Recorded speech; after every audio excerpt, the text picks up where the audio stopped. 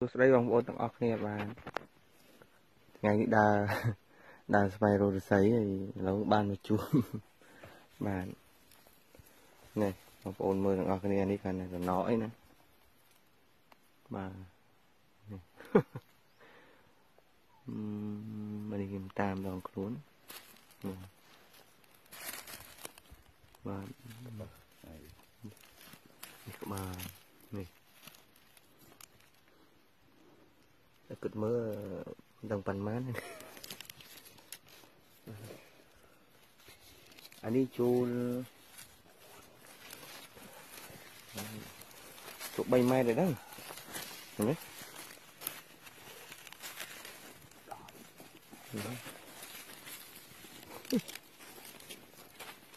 មើលទៅ3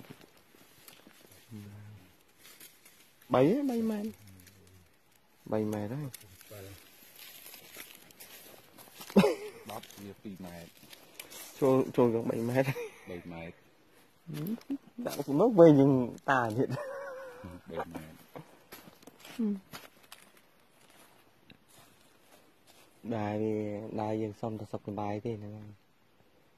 មិនប្រាថ្នាជួបទេរបស់ចឹងចឹងបាទគេនៅតែគេយើងយើងដើររត់តែយើងទេ